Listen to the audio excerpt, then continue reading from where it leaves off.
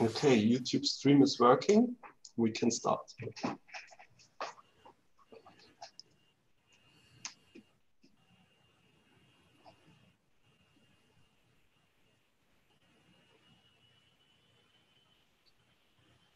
Um, Ranko, your microphone is muted. Thank you very much, Florian, for uh, pointing that out. I was thanking you for your able um, technical help so far, and uh, indeed for uh, reminding me of that. So, welcome everybody to, to this, um, I believe, last uh, session of um, ICALP Track B. Um, we have six very nice papers in this session. Um, and uh, Florian is our technical person. Um, Anuj is here um, as the reserve chair, and we also have have David Purser, um, who um, who is the moderator. So once again, welcome everybody. Our first paper is um, the paper entitled "Finite Sequentiality of Finitely Ambiguous Max Plus Tree Automata" by Eric Paul, and so, Eric, uh, over to uh, over to you for a short uh, short presentation.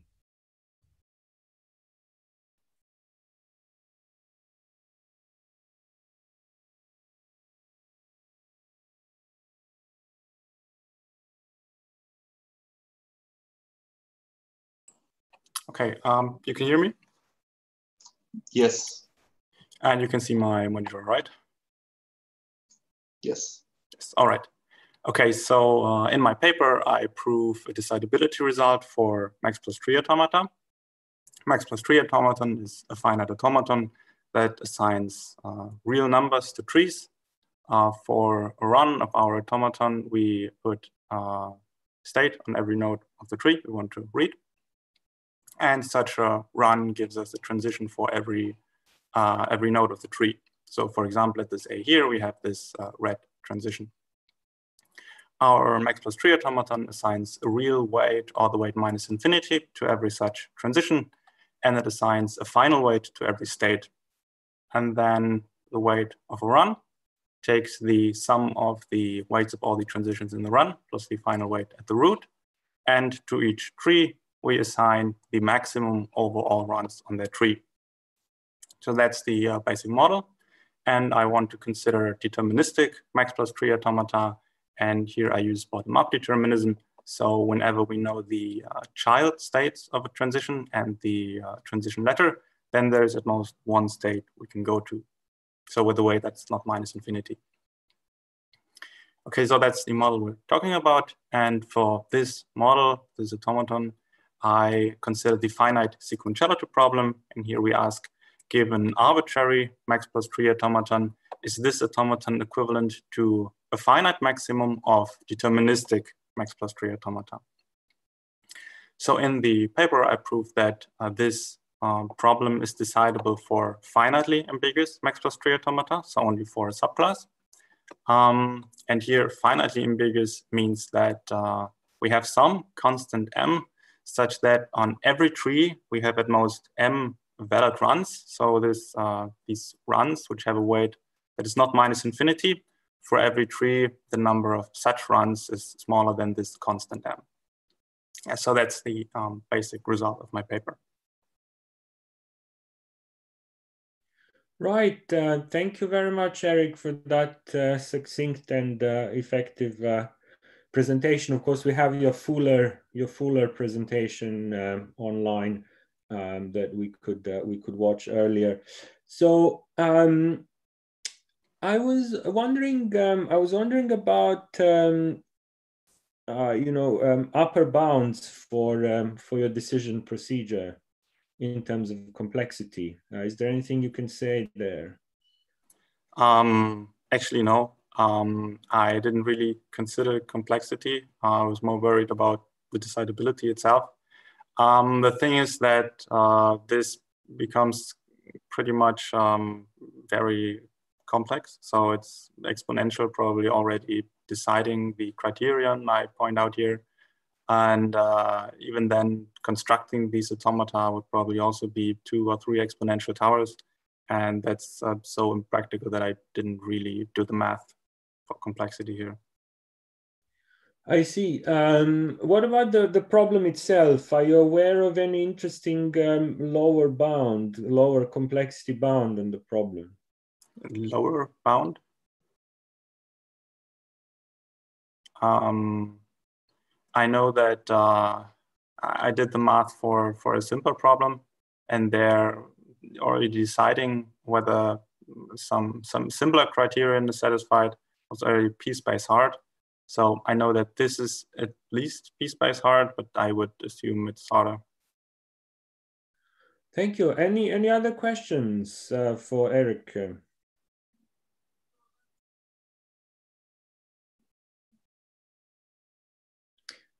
Do we have any questions on Slack, Florian, or, or rather David? Uh, no questions on Slack. Uh, I have one more, um, Eric, which is about further work. So, um, so where um, you know what's what's the next uh, what's the next thing to do um, from your point of view? Um, from my point of view, um, so there's these uh, ambiguity subclasses in Max plus Max plus automata, Max tree automata, and all of the research I'm doing. So this is part of it. Um, mostly deals with characterizing these uh, these ambiguity subclasses. So basically, here for the finite sequentiality problem, this is probably the the end of the line, because next would be uh, analyzing polynomially ambiguous max plus automata, max plus tree automata, and there this problem would probably um, we would then use this uh, to solve harder problems by um, like uh, showing that some polynomially ambiguous max plus automaton can be um, expressed as a finitely ambiguous max plus automaton, and then you can use my result to um, like get a finite sequentiality, the decidability for for more automata for a larger subclass, and so I actually plan to do more research on that, so on larger classes of these automata. Okay, interesting. Uh, well, best wishes with that. Um, does um, does anybody have further questions at this point? In which case, let me thank Eric. And uh, let's see whether the next uh, the next uh, speaker um, of for the paper cost automata, safe schemes and downward closures is available. Uh, it is um, uh, David Barozzini. Uh, yeah, can you hear me? Yes. Okay. Yes. So, mm -hmm. yes. Um, sorry. I think it's like this. Okay. Uh, oh, okay. So uh, our work is uh, cost automata, safe schemes, and uh, downward closures. And it's a joint work with uh, Lorenzo Clemente, Thomas Colcombet, and uh, Paweł Parys. This work presents three main, three main results. The first result is a model checking result we show that um, that uh, the model checking for safe schemes is decidable for against uh, properties definable by alternating B automata. Uh, alternating B automata are um, is this automaton model. They basically are um, two-way automata, two-way alternating automata with counters, where the counters cannot uh, influence the run. They are only used for um, for the acceptance condition. And um, here the, the proof is based on the, on the fact that we can uh, lower the order of the, of the scheme uh, at expense of uh, making the automaton, uh, of transforming the automaton from uh, one way to two way. And uh, then we use the fact that for this automata model, one-way automata and two-way automata are equivalent. Uh, however, in the in this lower in the order, there is um, we use the fact that uh, the scheme we are uh, working on is uh, safe, and this safety assumption is uh, fundamental in the in our proof. It's it's open whether this assumption can be dropped. The, um, the second um, the second uh, result is about downward closures uh, downward closure of a language is uh, the smallest uh, language containing it and uh, closed under homeomorphic uh, embedding. Uh, we show that the computability of downward closures for tree languages reduces to um, reduces to to an unboundedness problem, that is the diagonal problem. here we do this by following the same ideas uh, that are uh, used for the word uh, language case. And uh, uh, yeah, we we define some uh, we define the diagonal problem for trees, and we show that we can compute we can compute downward closures of tree language of tree languages only if we can um, decide the, diagonal problem. And uh, okay, the third uh, and last uh, result is uh, basically a corollary of the first two results. Uh, we note that we can express the diagonal problem by using uh, alternating B automata. And thanks to this, for the thanks to the first uh, result, we have that um, we can uh, decide the diagonal problem over um, languages of finite trees uh, um, recognized by safe schemes. And uh, thanks to the second result, uh, we have that uh, we can um, compute downward closures for tree languages recognized by safe schemes.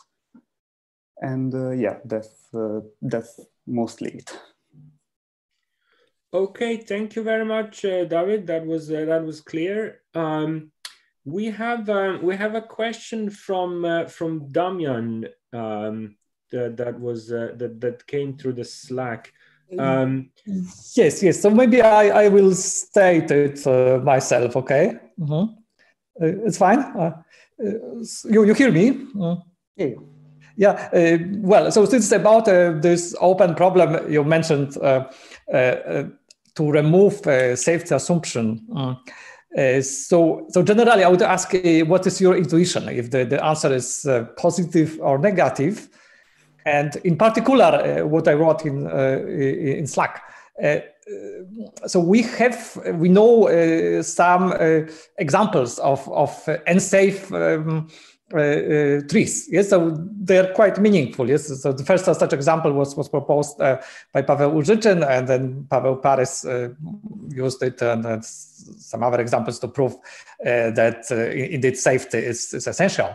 but could you did you try to at least with these examples if if if it can. Um, if, if it works, if, if you, we can decide uh, B, B automata, acceptance of B automata? Okay, well, the well, the truth is we didn't uh, we didn't really check. the um, the proof is uh, the proof for uh, for the this first result is very um, syntactical in a way. So um, the the safety assumption is is uh, is used to show that everybody everything that uh, basically that everything works that we can uh, we can transform we yeah, can mm-hmm. transform trees in, uh, into other trees we didn't check um, for particular trees mm-hmm. uh, do you remember uh, my, my first question what is your intuition uh, because if, if this positive so so my, my the second part of my question is not so interesting but maybe if uh, it can be um, if, uh, the problem is not decidable, so we could try with, with this, these particular examples. Uh, well, my intuition, I think, uh, I think it can be proved that. Um, I mean, I think we can do it for um, for uh, non-safe uh, non-safe schemes. Mm-hmm. But uh, that's only my intuition. We don't really know one way or the other. We don't really know whether this is true or not. Mm-hmm. Okay, so thank you. Mm. Okay, um, uh, thanks, David and, uh, and Damian, for your interesting question. Uh, we have another question by Togrul um, that has come through. Togrul, are you there? Yes, I am. So uh, the question was, so you mentioned this paper by, by Lorenzo Clemente, 2016 result, and it says that um, the, the downward closures are computable for, this was from the video, I think, Download, uh, downward closures are computable for languages of finite words generated by schemes. Mm, and, yes. And using your result, uh, we can compute downward closures for languages generated, tree languages, but generated by safe schemes. Hmm. So my question was, did it, so what sort of complexity do these things have? Do they compare at all? Mm, we didn't uh, we didn't really looked into into the complexity of um, of um, of the algorithm for uh, for trees for uh, downward closure for safe schemes.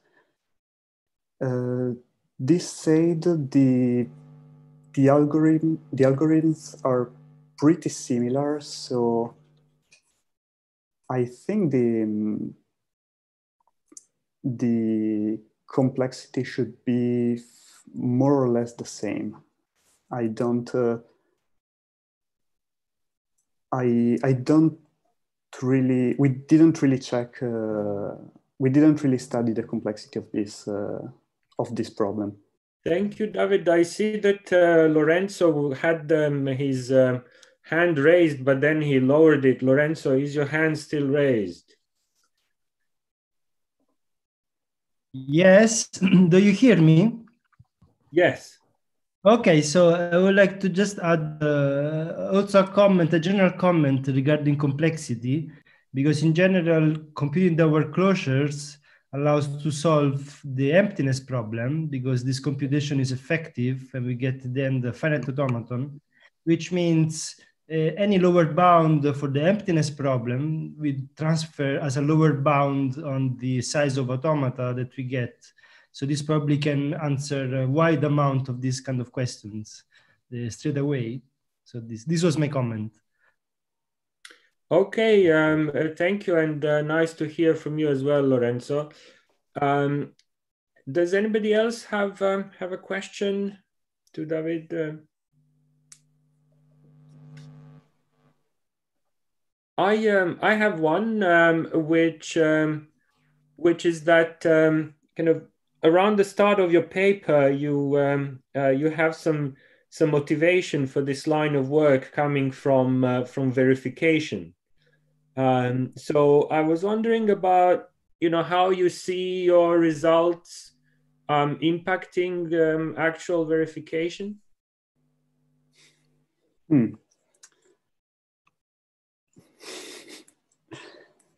Uh, I I don't really know. uh,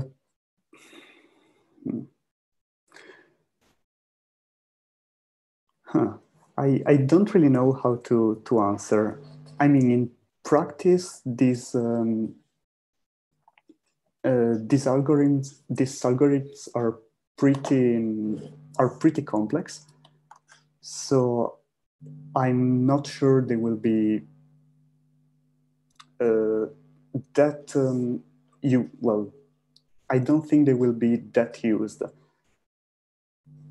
in in practice. Okay, uh, thanks, uh, thanks, David. Yeah. Um, anybody, anybody have a, uh, anybody has a, a further question or remark?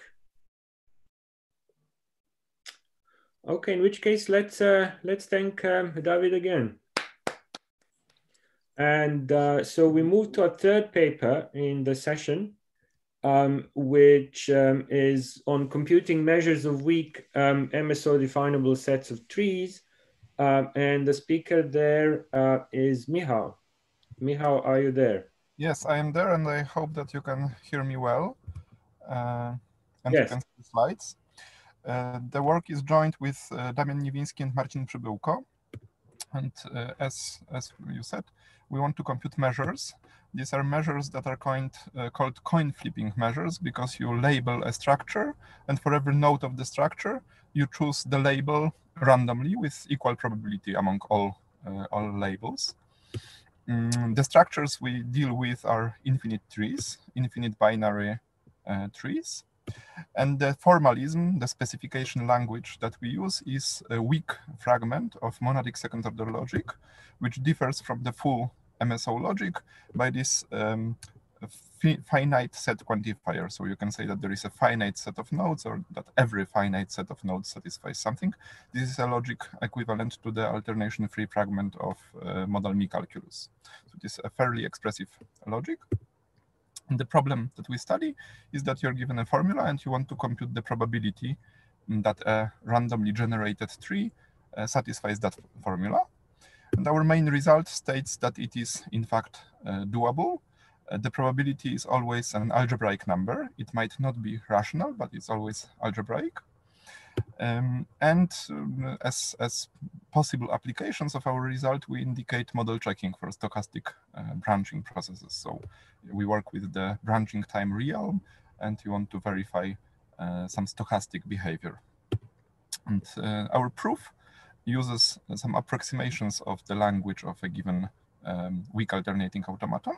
So we have a sequence of approximations uh, as sets of trees, and then we lift it to the level of probabilistic distributions uh, over the power set of the set of states of the automaton, and we use a properly uh, chosen order in that domain. This is called probabilistic power domains. And on top of that, we use some induction on the priorities of the automaton. Uh, and in the end, our whole construction reduces the problem to Tarski's uh, theory. And then we can either decide whether the probability is bigger or smaller than some given number, or we can even represent that number as a root of, of some polynomial. Mm, and moreover, um, our technique can be adapted to more general measures, not um, only coin flipping measures, but measures generated by some branching processes. So then you get a measure, you get a, a formula, and you um, uh, compute the probability of, of the language of that formula with respect to that measure. And yeah, I think this is all. Uh, the rest is in the paper and in the long presentation. Uh, thank you very much, um, uh, Michał. Um, and indeed, we uh, we had the longer presentation as well. Um, thank you for this succinct one. Um, does uh, does anybody have a question? Uh, two participants raised their hands, but um, I'm struggling to see um, who who they are. Um, uh, Florian, can you help? the, the Lorenzo and Edon. Um, so Okay, um, uh, maybe um, Edon, Edon, you first. Yeah, hi, can you hear me? Yes. So my question was uh, as follows. Uh, your probability measure is a map from uh, tree languages to algebraic numbers. And I wondered uh, whether it's uh, surjective and uh, if so, whether there's some, it gives you some relation between some complexity notion on the tree language side that can be translated to the height or width of the algebraic number. Mhm. That's a very nice question, and we were interested, and we are still interested in that. Uh, there are certain examples of algebraic numbers that you can achieve, and there are some methods of obtaining new numbers, uh, but uh, we don't know whether every algebraic number in the range between zero and one can be achieved uh, that way. Mm, the problem is that when you when you combine probabilities, um, you have somehow limited means. Like you can take a product of two probabilities by taking independent events. You can take a dual co- coproduct, uh, but for instance, taking a sum of two probabilities um, is is not obvious, and we don't know how to do that. Thank you. Uh, thanks, uh, thanks, Michał and Edon, for the uh, nice question. Um, over to you, Lorenzo. Yes, uh, thank you. So first of all, I would like to really express my uh, happiness to, to read this paper and the presentation because I really enjoyed uh, the results and also the techniques and I, I really liked it. And I would like to ask to, to Michał, uh, what is the most uh, urgent open problem that is left uh, in this? Oh, so um, probably I should have mentioned that in this short presentation, the motivating conjecture is that we can compute measures of, of full MSO of all regular languages of infinite trees. Um, and I would say that our paper indicates like what is difficult there. Um, we, we, deal with these weak languages we, because we have these um, omega lens sequences of approximations. And in the case of general languages, there are such appro approximations, but their length is omega 1, the first uncountable ordinal. And um, yeah, we hope to be able to deal with that, but at the moment we don't know how. Okay, thank you. Uh, maybe I can add uh, just just a remark because uh, well in the, the longer presentation uh, you can see what is known also in the paper. Uh, so there are some not weak tree languages uh, for which we also can compute. This was a result of Michalewski and Mio uh, for the so-called uh, game tree languages, which are quite strong, but they are in some sense um, close to deterministic. Uh, so, uh, so uh, in comparison to this, the, the, the weak monadic logic, it's, it's um, weakness as far as infinite conditions are, consider, are considered. Um, but it's quite uh, free in non-determinism uh, uh, for, for, for local properties. It's like this. Okay, thank you, Damian, for that further clarification. Um, um, I suppose there's no notion of um, kind of um, um, not not restricting this discussion to Warsaw. So over to you, uh, Lorenzo, again. yes, so I mean, uh, you don't, uh, yeah, okay, but I will ask. Uh, so the question is whether you, the authors, have been looking at unambiguous uh, automata to represent trees, or whether this has been studied already. I don't know and whether this could be a, step towards the, the, the bigger problem. Mm -hmm. It's again a very nice question. Um, we had this idea because there are known examples in which counting uh, models works with unambiguous uh, automata, mainly because you have a bijection between um, the accepted structures and the runs. Uh, and it is true for infinite trees, uh, but this bijection uh, definitely does not preserve the measure. And um, we, we, have some examples in which um, it seems um, unhelpful. Uh, so it's a totally different question to uh, to compute the measure of the set of accepting runs and uh, the measure of the actual language. And um, I, I, would say that my intuition is that here unambiguity wouldn't help, but I don't know. Thank you again, Michał. Any further questions? Um, I, I, I have one, uh, uh, which is that um, in your um, theorem two in the paper, you point out um, that um, you have a complexity upper bound polynomial um, in the number doubly exponential in the automaton and singly exponential in the process. Uh, can you comment on, you know, whether that's optimal in any sense? Uh, mm. Mm, I don't know. Uh, so we were happy to to to um, state this result and uh, to to have it uh, because it's uh, like a distinguishing between the specification and and like data complexity, where the process can be pretty big and the specification is rather small, and then you combine them and you get a bit better probability, uh, a bit better complexity. Um, but um, I'm I'm not sure, sure about um, any technique showing that it's um, um, optimal. We don't know. Maybe Damian, if you have some some ideas on that, I don't know. Damian. Uh, well, I don't know. This is maybe uh, just just naive what, what I, I, have in mind, but but already for a non-emptiness of alternating weak automata, it is uh, not. It's I think exponential. Yes. So uh, so the, we have, we have some, uh, and so we will ask if so, so it's it's probably related. So so so so lower bound, but but but you are right. We should we should try to to, to, to see if there are no not so easy lower bounds here. Mm -hmm. Okay, uh, thank you very much, uh, Michał. Thanks. And uh, so we move to um, the fourth paper in the session. Um, I shouldn't have made that remark about Warsaw, right?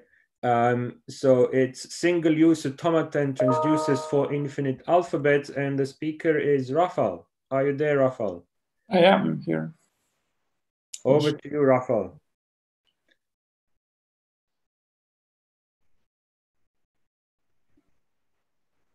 Okay, so sorry. Mm. Can you see my screen? Hello, can you hear yes, me? Yes, yes, everything is fine. So the presentation is about so,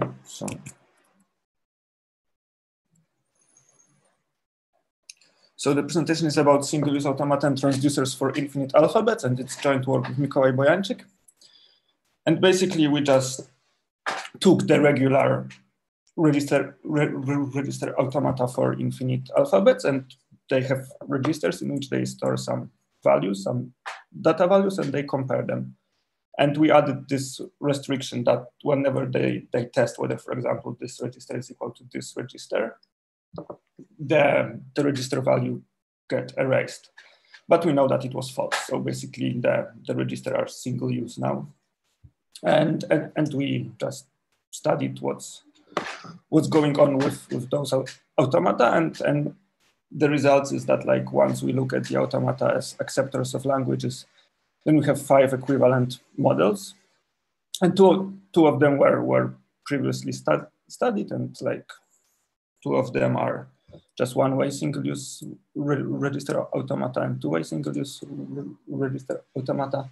And the fifth one is a, is a variant of regular list functions that adds atoms to it. And also, but we can also look at those automata as transducers, so as functions. And then we have four equivalent models. So one of them is two-way single-use register transducers, but we also have like a, a Krohn, style decomposition theorem, and then again the regular, regular, sorry, regular list functions. And then finally, you have the streaming strings transducers with atoms when the single-use restriction seems to nicely match with the copyless restriction that was original in the original string string automata. So that's that's our work. Thank you. Thank you very much, Rafael. Um, very nice. Um, any questions? Um, David, do we have? Yes, we have a question from Noreen um, uh, via Slack. Um, Noreen, are you are you on on Zoom as well? No, she's not. No, right. So so so the question uh, we can see it in the chat, but but I'll uh, I'll read it out for you, Rafał. Um, thank you for the talk. I'm wondering what the rigid restriction of MSO is. Is there more to it than the additional atom equality predicate that you have mentioned? So yes, so that's there. There's more to it, and and this is this is because maybe I can write something. Uh, this is because can I draw like once we have the unrestricted unrestricted. Sorry. So like once we have this predicate x tilde y, which says that there is the, the same data value on x and, and, and y, then we can, for, for, for example, define that the language, the first letter appears again, the, the, like the data value on the first letter appears, appears again. So like in here, we have to like, every time we have this predicate tilde, which checks whether there's the same data value, we have to guard it with some phi, which is xy. And then this phi has to has this property that for each x there is at most one y, and for each y there is at most one x that satisfies this property. So that's the rigidly that's the rigid guard. So this is just MSO tilde, and this is the rigidly guarded MSO tilde. Okay, thanks, uh, thanks, Rafael, for that uh, informative answer. Um, any further questions for Rafael? I have one, uh, Rafael, which is um, what about trees? Rather, data trees. So, so, so it's it's kind of hard to to use it directly for for for for trees because here we have the the two-way transducers model, which is the the, the, the interesting one, and, and this somehow corresponds to the tree walking automaton, which is not not not, not equivalent to, to the general MSO, right? So so we don't know much about trees. That's that's the answer. Maybe I, should be like it's, it seems to be a, a, a little bit more complicated. I see. Okay, thanks. Um, any further questions for Rafael? In which case, uh, thank you again, Rafael. And uh, so we um, move to the uh, fifth paper in the session, which is from linear to additive cellul cellular automata. And uh, the presenter is Enrico. Are you there, Enrico?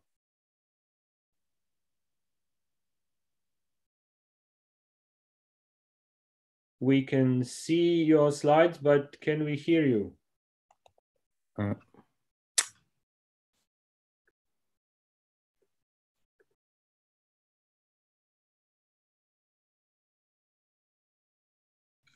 Florian, can we hear Enrico? Uh, Enrico, we still can't hear you. Uh, can you please check out whether you have selected the correct microphone in Zoom? On the bottom left, there's on the microphone icon an up arrow, uh, arrow where you can select the microphone. Make sure you have selected the correct microphone there. Okay.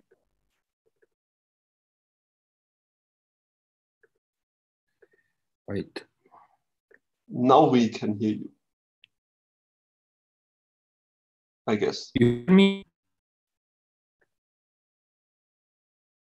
Can you hear me? Yes. Okay, thank now you. Now it works. Sorry. so, um, so my talk is uh, um, concerns uh, cellular automata. I think that uh, all of you know about cellular automata, at least for game of life. And the point that we are uh, trying to understand is, okay, uh, so essentially, basically, a cellular automaton can be seen as a dimensional or one-dimensional structure, a grid, and all automata are arranged on this grid. And I have the lookup table to update the state of all my automata. Uh, the point is that uh, if I try to understand which properties I will see uh, uh when updating my automata, uh, for example, here I show you one-dimensional automaton in which the initial configuration is the uppermost one and time goes down and uh, so I have the lookup table. I see something on, on, my, on my diagrams, and I want to uh, forecast properties of these diagrams, okay? And there is a huge result of Jarkko Kari, which says that any the of my cellular automata is in fact undecidable. So this is a big problem also, for example, in practical applications. And uh, so what we did is to uh, put some structure on the of my automaton and use the structure uh, to uh, forecast properties.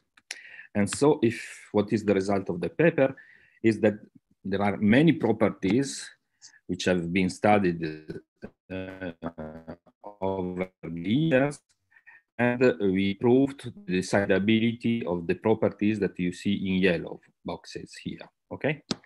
And uh, in particular, in the talk that you have probably seen in the in the video, I spoke about the sensitivity to initial conditions. Sensitivity to initial conditions is the classic, what is popularly known as the classical butterfly effect. If I have two, one initial configuration and my system is sensitive, then for any initial configuration, I can find an arbitrary closed initial configuration for which if I look at the two orbits, then the two orbits definitively get far away one from another.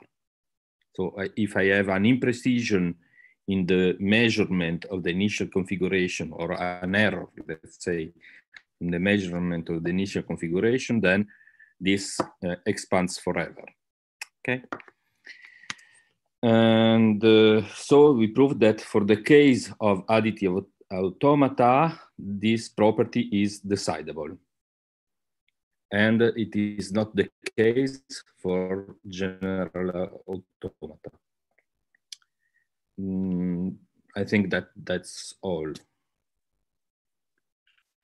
Okay. Um, thank you very much, um, Enrico. Um, we have a question uh, a question um, from Marcus uh, that came through Slack, but uh, Marcus, you are there as well? Yes, yeah, yeah, I'm here. I can ask it live. Please. If you can hear me. Okay. Uh, thanks, thanks for a nice talk.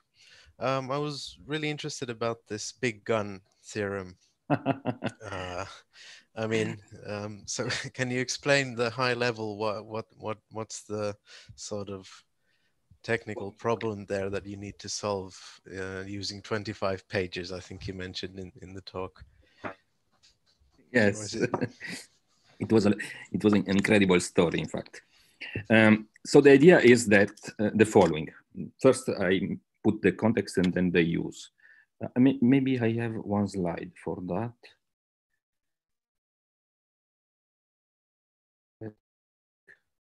Here it is. Okay. Uh, what is the basic idea? Basic idea is that uh, we don't solve the main problem, but at first we solve a, um, uh, let's say, easier problem, okay? In which uh, we have a, um, mm, automata on specific structures. And uh, in fact, they are called Frobenius cellular automata because, uh, in fact, they can uh, their up, uh, lookup table can be represented by a Frobenius matrix, okay? And uh, we proved another theorem in another paper, which said that, uh, that if uh, this, uh, the powers of this matrix are um, all different when I take powers, powers, powers, I have an infinite number of distinct powers, then my system is sensitive to initial conditions. Okay? Then uh, we wanted to extend this result to the general case of, of, of, of uh, linear cellular automata. And uh, in fact, uh, the idea was to take, to reduce the problem of linear cellular automata. So those cellular automata for which the lookup table can be represented as a matrix, okay? And um, two ways of Frobenius CA. And, uh, and the idea is that I can, I want to compare how the powers of the matrix of a Frobenius CA and the powers of the my uh, general linear cellular evolves. And the big line theorem says that if the Frobenius, which can be embedded in the uh, in the um, linear CA, has some behavior, for example, an infinite number of distinct hours, then the other linear CA also have. And so we can conclude that the system is sensitive. So it was uh, used for the reduction, in fact. Okay. And yeah, it, yeah. Uh, it is not. at first we thought that it was a, an easy result, but it took us a very long time to find. Maybe But also because we are not hyper expert of algebra, so so maybe another maybe would have found in less time. Great. Uh, thank you, Enrico. Um, any any more questions for Enrico?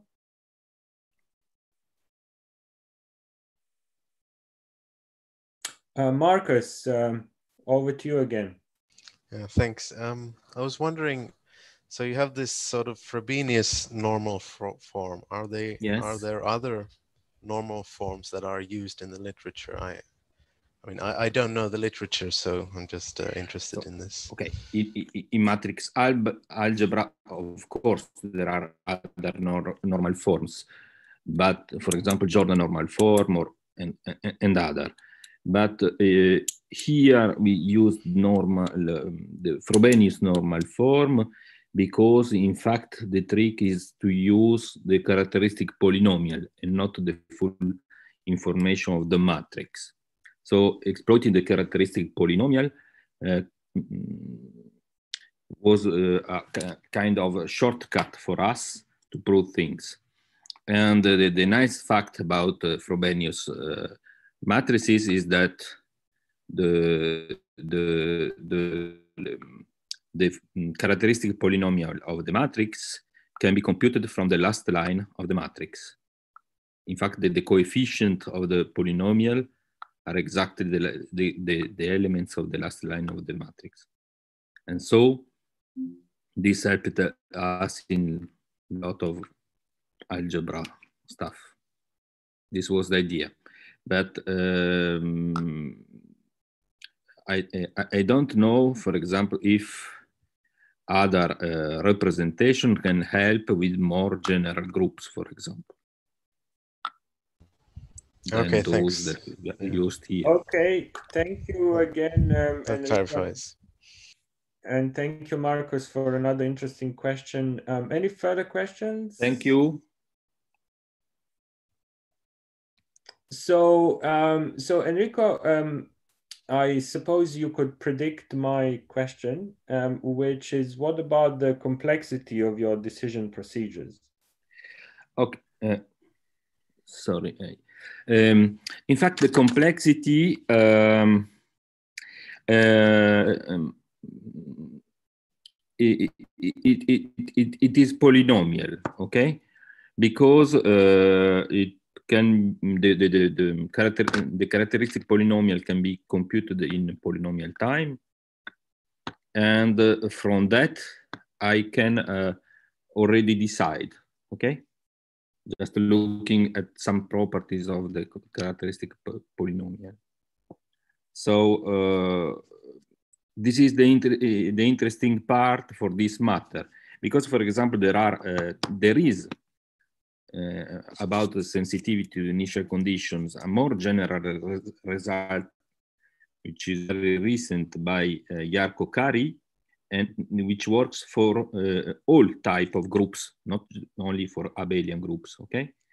And uh, the point is that uh, in uh, we tried to understand the, which is the complexity of his construction, and in fact, it is clear that it is uh, exponential, but I don't even know how many towers of exponential are there. In fact, it is not clear if this the a finite number or what uh, and uh, uh, sorry, a constant number or or or the, it depends from from from the automaton. So um, I think that the interest also for for practical applications is this polynomial decidability question. Thank you, Enrico. Any further comments or questions? Uh, okay, thanks. You're And welcome. That, uh, that brings us to the last paper in um, in the session um, on when is a bottom-up deterministic tree translation top-down deterministic, and our presenter is Helmut. Are you there, Helmut? Yes, I am. So I try to share my screen.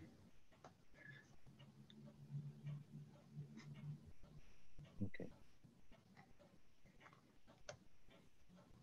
Can uh, let's see. Can it...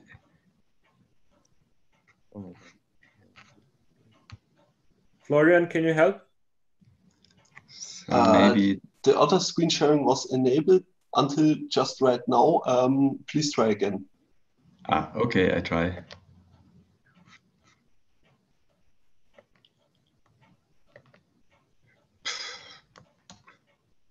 So can you see my screen? Uh, no, there is no screen sharing enabled. Ah. So I only I only see something like uh, ah, maybe I have to do this. In the I only part. see below the bottom up brechen, but not teilen. So this sharing is not enabled for me. Uh, maybe you want to stop it and restart it again. I try. So I at first press this sharing button. So Helmut, I have another suggestion. Given that we are towards the end of our hour, um, Yes. would you, would you mind actually just you know um, orally uh, telling We us can about also- No problem. So our paper is about uh, deterministic tree transducers. Uh, tree transducers typically come in two flavors, namely uh, top-down tree transducers and bottom-up tree transducers. And it turns out that those are uh, th- those two are incomparable models. But there is an obvious way how a top-down uh, tree transducer can be enhanced to deal uh, to realize a bottom-up translation, namely by equipping it with uh, look-ahead. And uh, the look-ahead can be considered as you do a pre-processing run of a bottom-up deterministic tree automaton, which then uh, tags each node with uh, the state with the attained state. And so this attained state at every node uh, serves as kind of an advice to the uh, top-down tree transducer. So um, now the question is, now we have a top-down tree transducer with this ugly extra uh, thing, namely this uh, this look ahead. The question is, is this look ahead necessary or can it be removed? And in general, this uh, this question has been uh, considered for arbitrary deterministic top-down tree transducers for quite a while and is a hard problem. So we uh, restricted ourselves to top-down tree transducers which are uniform copying. These are those which come, uh, which one obtains when one simulates these uh, bottom-up tree transducers. So the question now, once again, we want to remove the look ahead. And the first step there is uh, to provide an, a particular normal form for the transducers, which is in this case the earliest normal form, where output is produced as quickly as possible. So uh, this is nice, but there is a there are constructions for that around, but they usually uh, destroy the dedicate the specific property which we have here. So this uniform copying. So we had to come up with a dedicated earliest normal form. And then additionally, we required to find structural properties of uh, top-down tree transducers with look-ahead so that uh, the look-ahead is uh, can be eliminated. These uh, structural properties turn out, so, uh, they seem to be quite uh, efficiently decidable, but in the end, then it comes, then one can do a kind of canonical uh, uh, transfer construction, which provides uh, a top-down tree transducer without look-ahead whenever this is possible. Uh, but that one can be rather large.